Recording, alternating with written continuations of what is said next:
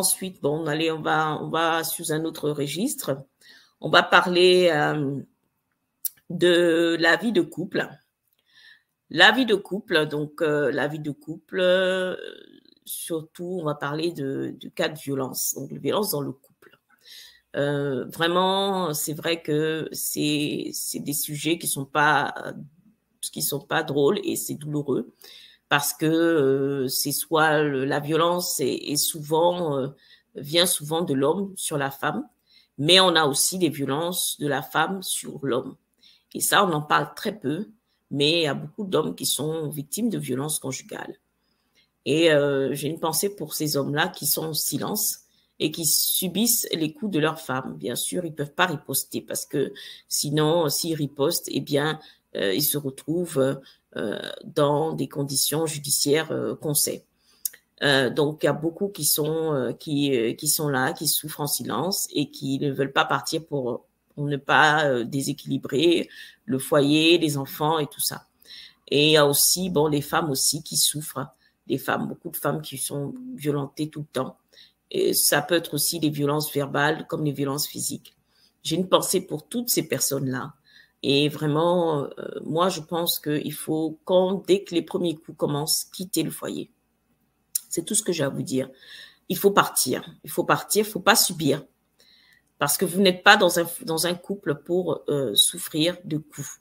Vous avez euh, une vie, vous êtes euh, précieux aux yeux de, de, de, celui qui vous a créé, donc aux yeux de la création divine. Vous êtes une personne précieuse, un élément indispensable pour le cosmos. Et vous ne pouvez pas vous déprécier de la sorte, sorte en, vous, en acceptant de vous faire subir toutes sortes de, de, de coups. Euh, donc vraiment, ce ça ne vous honore pas et ça n'honore pas, ça n'honore pas aussi la création tout entière. Parce que la création tout entière a besoin de vous pour pouvoir euh, euh, vraiment avancer, construire un monde meilleur. Donc, quittez ces genres de foyers-là. Hein, je ne suis pas là pour, pour vous dire, oui, essayez de trouver un terrain d'entente.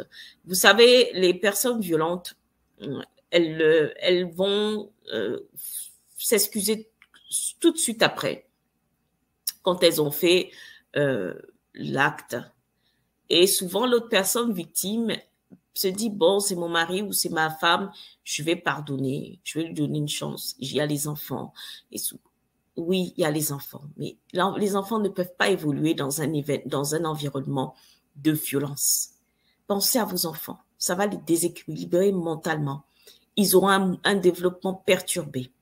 Il vaut mieux voir papa et maman séparés et, sans vraiment euh, et ça les épargne aussi ces, ces scènes de coups, de violence, parce que l'enfant il va grandir avec ça, il sera marqué à vie et ça va lui mettre une empreinte indélébile et qui va lui créer des problèmes psychologiques par la suite. Ça c'est sûr. Alors donc moi je vous dis personnellement il faut euh, prendre les devants accepter de partir. C'est dur, mais il faut prendre vos affaires et vous partez. Partez à la maison, partez chez une sœur, un frère ou chez vos parents s'ils sont encore en vie ou chez une amie proche à qui vous pouvez vous confier. Mais ne restez pas là. Ne restez pas là, mesdames, ne restez pas là, messieurs aussi, parce qu'il y a des messieurs qui sont aussi violentés. Hein. C'est un peu plus, plus difficile de le, de, de vraiment d'en parler dans votre entourage en tant qu'homme, euh, homme euh, violenté. Euh, c'est pas c'est pas facile d'aborder parce que les gens ont du mal à croire. Les gens déjà se disent un homme violenté, euh, ça n'existe ça n'existe pas. On n'a jamais vu. Enfin, c'est ils racontent des histoires, c'est pas vrai. Comment cette fille qu'on connaît euh, cette dame qu'on connaît, elle peut pas être violente, c'est pas possible. Surtout que les violents, euh, quand on les voit, ils peuvent pas faire, on, pense qu'ils peuvent pas faire de mal à une mouche. Alors que méfiez-vous euh, des apparences, comme j'avais mis dans une vidéo, j'ai fait une vidéo là-dessus. Méfiez-vous des apparences.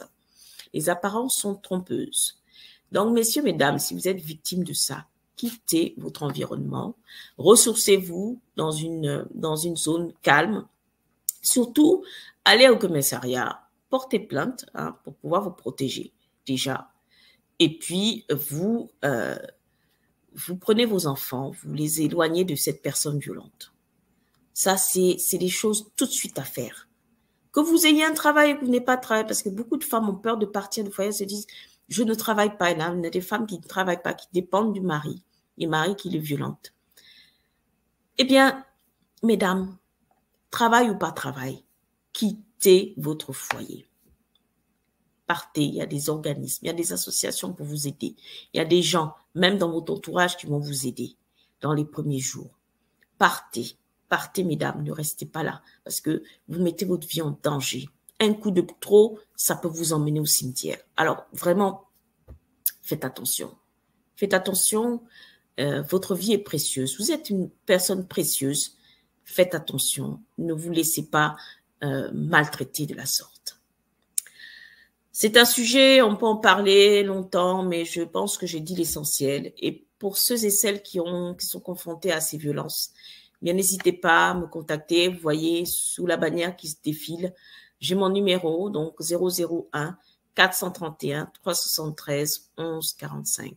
C'est un numéro où vous pouvez laisser votre demande. Euh, si vous voulez parler, vous avez besoin de parler, vous avez besoin d'un coaching, d'un accompagnement pour pouvoir remonter la pente face à la situation. N'hésitez pas, vous êtes la bienvenue, le bienvenu pour en parler. Euh, je voulais parler aussi